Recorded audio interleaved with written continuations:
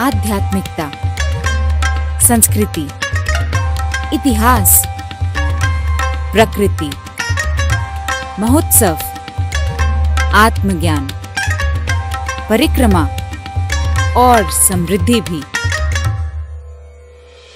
एक ऐसा अनुभव जो विविध और विभिन्न पलों से समृद्ध है। जीवन के हर रस से परिपूर्ण। Get charge up to see the upcoming cultural sphere of Shri Jagannath Puri for a journey to this place resonates throughout a lifetime.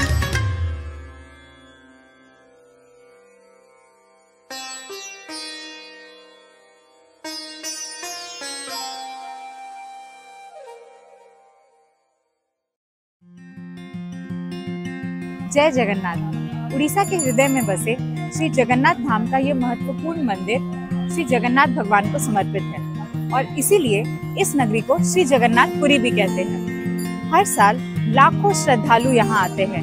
कोई भगवान के दर्शन करने तो कोई रथ यात्रा का महोत्सव देखने। और कुछ लोग सिर्फ़ इस ऐतिहासिक धरोहर का अनुभव करने आते हैं। हमारे यहाँ पे अच्छा लगा। हम यहाँ पे आए। हमको यहाँ पे बहुत अच्छा लगा। हमारी इच्छा वो आ जाता हाँ जो हिंदी बोलते हैं वो हमको तो यहाँ की भाषा नहीं समझ के लिए। भगवान का द्वार इतना अच्छा लगा झंडा चढ़ता उतरता हमने देखा जो अपने मतलब धर्म है उसको जाने समझे अपने भगवान को पहचाने और जो भी चीज़ें चल रही है वो ऐसी ही चलती रहे अच्छा लगा बाकी कि। हम और हमको ऐसा लगता कि हम हर महीने आए। कारण चाहे जितने भी हों लेकिन हिंदुओं के चार धामों में से इस महाधाम पर सब ज़रूर पधारते हैं। कहते हैं कि a proud culture is the one that celebrates its age old traditions and the rich heritage सदियों से ही श्री जगन्नाथपुरी हिंदुओं का प्रमुख तीर्थ स्थल रहा है। लाखों लोगों का धर्म, उनकी श्रद्धा, उन्हें यहाँ खींच लाती है। यहाँ का vibrant culture rituals traditional arts और फेस्टिव सेलिब्रेशन ये सब मिलकर एक ऐसा एटमॉस्फेयर बनाते हैं जैसा कहीं भी न मिलता हो। The feel of divine energy and positive vibes lead you straight to the temple कई पीढ़ियों से लोग यहाँ पर बसे हैं। कितने ही hotels restaurants guest houses shops हैं यहाँ। इतनी लोगों की भीड़ में, इतने केओस में भी जब आप यहाँ आते हैं तो आपकी नज़र सिर्फ़ उस शिखर पर होती है। वही आपका लक्ष्य है। वही भगवान के समक्ष आप खुद को समर्पित कर देते हैं। और प्रभु आपके हो जाते हैं। A beautiful morning by the beachside, where doing absolutely nothing is doing something. Humans का नेचर कितना अजीब होता है ना? इतनी अशांत चंचल लहरों को देखकर कैसे किसी का मन शांत हो जाता है? इस इन्फिनिटी को देखते हुए आप घंटों यहाँ बैठे रह सकते हैं। इसके साथ वॉक कर सकते हैं इन लहरों से खेल सकते हैं। ये शहर ये शहर आपको बार बार अपने पास बुलाता है। It is a place way you can call your dream home तो अपने सपने पूरे करने तो बार बार आना ही पड़ता है। This coastal town of Puri warmly caters to the accommodation of all the tourists coming over here. Puri एक ऐसा डेस्टिनेशन है, जहाँ 365 डेज़ टूरिस्ट फुटफॉल होता ही है। तो यहाँ की मेजर प्रॉपर्टीज़ जो हैं वहाँ के रूम टैरिफ 1500 से 4000 के बीच में रहते हैं। और कुछ ऐसी स्टार रेटेड प्रॉपर्टीज़ भी हैं, जिनके टैरिफ 5000 से लेके may be fifteen and so on हो। Tourist staying away from the sea beach और coming by their vehicles can use the newly developed parking area provided at the marine drive road near the lighthouse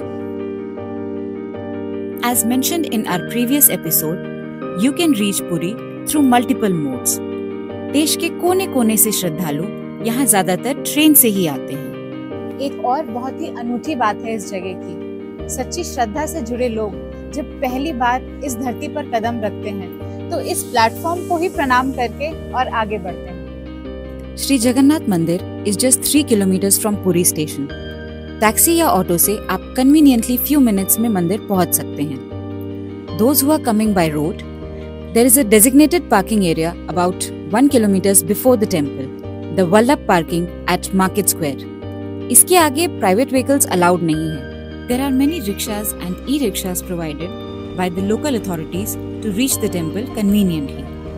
और अगर आपको local street market को closely enjoy करना है तो आप पैदल भी मंदिर जा सकते हैं। It hardly takes 10 to 15 minutes और आपकी थोड़ी शॉपिंग भी हो जाती है।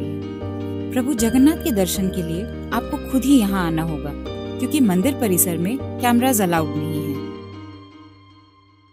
अगर आप श्री जगन्नाथपुरी में आए हैं और श्री मंदिर के दर्शन के लिए आए हैं तो श्री मंदिर और उसकी विसिनिटी को एंजॉय करने के लिए सबसे करीब से देखने के लिए आप आ सकते हैं द ग्रैंड इस रेस्टोरेंट में आपको ऑथेंटिक खाना भी मिलेगा और यहाँ के सबसे बेस्ट व्यूज़ मिलेंगे। वाओ क्या कॉम्बिनेशन है। जय जगन्नाथ। ये चार धाम से सबसे श्रेष्ठ वाला मंदिर है। आप रामेश्वरम जाएँगे, वहाँ पर जलदान करेंगे। द्वारिकाधीश जाएँगे, वहाँ पर तुलादान करेंगे। जब जगन्नाथपुरी आएँगे, यहाँ पर अन्नदान होता है। सब जगह मिठाई, हलवा वगैरह बनता है। यहाँ पर भगवान जी के लिए छप्पन किस्म का प्रसाद बनता है, जो बनता है मिट्टी के बर्तन में। और ये बनने के स्टाइल होता है, एक के ऊपर नौ बर्तन रहता है। सबसे पहला वाला, ऊपर वाला बर्तन पहले पकता है और आखिरी में जो लास्ट लास्ट में रहता है वो लास्ट में पकता है। महाप्रसाद पवित्रता का प्रतीक है संस्कारों को दर्शाता है और मानव संबंधों को और मज़बूत बना देता है। ये श्री मंदिर का साउथ गेट है यानी अश्व द्वार दक्षिण दिशा की ओर। इस दक्षिण द्वार से महाप्रसादम की सारी तैयारियाँ की जाती हैं। यहाँ से सारे बर्तन और खाने का सामान इसी द्वार से अंदर लिया जाता है। इन तैयारियों को देख के इतनी श्रद्धा से बहुत ही अच्छा लगता है। इस पर्यटक नगरी को वैश्विक महत्वता देने के लिए कार्य प्रगति पर है। बहुत जल्द श्री मंदिर परिक्रमा का उद्घाटन 17 जनवरी 2024 को होने वाला है।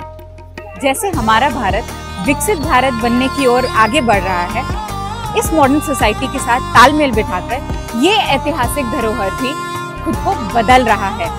Modern techniques new building materials और बेसिक एम्यूनिटीज के साथ श्री मंदिर के चारों तरफ़ डेवलपमेंट्स हो रहे हैं। Road networks pedestrians drainage system plantations और बहुत कुछ, ताकि आने वाले समय में उन्हें श्री प्रभु के दर्शन भी अच्छे से हो पाए और उन्हें सारी मॉडर्न फैसिलिटीज़ और इंफ्रास्ट्रक्चर भी मिल पाए। श्री जगन्नाथपुरी में अपने प्रिय जनों का धार्मिक अनुष्ठान भी बिल्कुल उचित माना जाता है। स्वर्ग द्वार, यानी स्वर्ग का द्वार। हिंदू धर्म में इसका विशेष महत्व है, क्योंकि माना जाता है कि यहाँ शवों को देह से और पुनर्जन्म के चक्र से मुक्ति मिल जाती है। Since centuries, the Kaling architecture of Odisha has been very notable and awe-inspiring. कई पीढ़ियों से यहाँ स्टोन काफ्ड मैजिकल मॉन्यूमेंट्स ही बनते आए हैं और आज भी इस प्रसिद्ध हस्तकला को जीवित रखा है यहाँ के स्टोन क्राफ्ट्समैन ने। इन्हीं में से कुछ आर्टिस्ट पुरी डिस्ट्रिक्ट के भुवान विलेज में रहते हैं। तो सांस्कृ ये स्टोन का कार्विंग होता है ओडिशा में। ये हमारे बहुत ओडिसी स्टाइल, ओडिशा का ये ओडिसी स्टाइल का, ये पत्थर का सांड स्टोन का, ये सब दिमाग से होता है। जो कोणार्क मंदिर, पूरी जगन्नाथ मंदिर में देख कर सब बनाते हैं।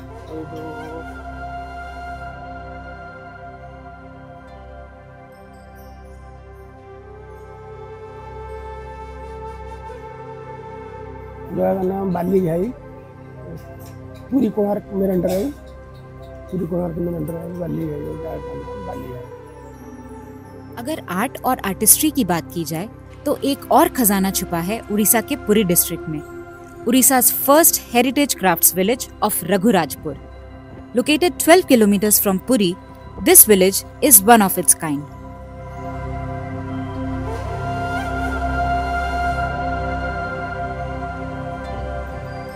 यहाँ की वैल्यूएबल कल्चरल ट्रेडिशंस, क्राफ्ट्समैनशिप और एज ओल्ड आर्टिस्टिक प्रैक्टिसेस कई जनरेशन से पास डाउन होते आए हैं। नमस्ते। ये जो हम जो पट्टचित्र बनाते जिसके लिए गाँव फ़ेमस ये पट्टचित्र है ये होता है दो साड़ी होता है। जैसे कि हमारा औरत लोग जो साड़ी पहनती है कटन साड़ी जो साड़ी जो पुराना हो जाते ओल्ड हो जाते वो साड़ी को ले आके शॉर्टकट का नीचे डाल के जो इमली खाता हूँ इमली का बीच वाला सीफ्ट जो होता है उसको छेद के और उसको ग्राइंडिंग करेंगे। ग्राइंडिंग करने के बाद उसको बॉईल करेंगे। बॉईल करने से वो गम हो जाता है, अट्ठा हो जाता है। वो अट्ठा को इसका बीच में डाल के और एक कपड़ा पेस्ट कर देते हैं। पेस्ट करने के बाद ये थोड़ा मोटा हो जाता है। मोटा होने के बाद हम क्या करते हैं ना, इसके ऊपर चॉप पाउडर और इमली का गम पूरा मिला के इसके ऊपर डाल देते हैं। डालने के बाद ये, इस, ये क्या करते हैं धूप में सुखा देते सूखने के बाद ये हार्ड हो जाता है। इसका बाद हम क्या करते हैं ना, ये हमारा स्टोन होता है। दो स्टोन होता है दो स्टोन को हम क्या करते हैं, ना इसके ऊपर घिसते हैं। घिसने के बाद ये पॉलिश हो जाता है, चिकना हो जाता है। चिकना होने के बाद हम क्या करते हैं, ना इसके ऊपर पेलिसिन से पहले ड्रॉ करेंगे। पहले आउटलाइन पेलिसिन से बनाएँगे, उसके बाद ब्रश में आउटलाइनिंग ब्लैक लाइनिंग ये सब बनाएँगे। और इसमें जो कलर हम यूज़ करती है, ये सब नेचुरल कलर है। ये होता है समुद्र का सॉन्ग सीसेल से बनाया। ये हरिताल है, ये हेंगुल है ये ब्लू स्टोन है, ये ब्लैक कलर है। हमारा पाँच कलर से हम जो पेंटिंग बनाते, इसको मिक्स मिक्स करके हम 150 कलर बनाते। ये हमारा पट्टचित्र का मेन जो कलर और मटेरियल का है। और यही नहीं, इस विलेज के हर घर में कितने ही आर्टिस्ट मिलेंगे। ये प्लेस बहुत सुंदर है, क्योंकि हर आर्टिस्ट ने अपने घर को बहुत ही यूनिकली डेकोरेट किया है और वे अपने बनाए हुए आइटम्स को सेल भी करते हैं।